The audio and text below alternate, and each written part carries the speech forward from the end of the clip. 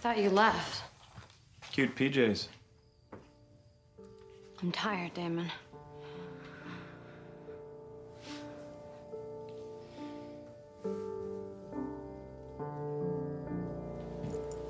Buy you this? I thought that was gone. Thank you.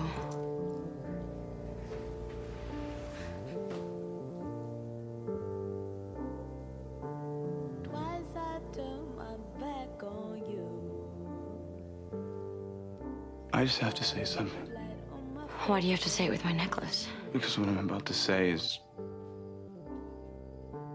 probably the most selfish thing I've ever said in my life. Damon, don't go there. No, I just have to say it once. You just need to hear it. I love you, Elena. And it's because I love you that I can't be selfish with you. Why you can't know this? I don't deserve you.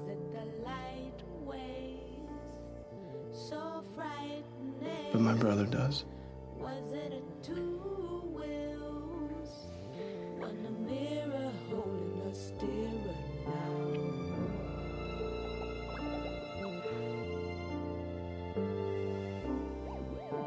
God, we shouldn't have to forget this. Are you do.